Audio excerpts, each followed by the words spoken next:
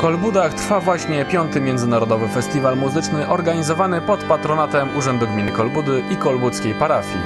Przez najbliższe niedziele sierpnia i września w kościele pod wezwaniem świętego Floriana odbywają się koncerty organowe z udziałem krajowych i zagranicznych gwiazd. Organy będą zawsze takim instrumentem trochę niszowym. Nie będą to skrzypce ani fortepian i przez to muzyka jest taka trochę jeszcze nieodkryta. Y, Zwykle organiści siedzą gdzieś daleko schowani y, w ciemności kościoła albo nawet w sali koncertowej często nie są dobrze widoczni, więc ta muzyka musi szczególnie oddziaływać na wyobraźnię słuchaczy i na ich umysł, ponieważ nie jesteśmy w stanie pobudzić innych zmysłów, na przykład zmysłu wzroku. Organy są bardzo oryginalnym instrumentem. By nauczyć się na nie grać, potrzeba wiele lat ciężkiej pracy.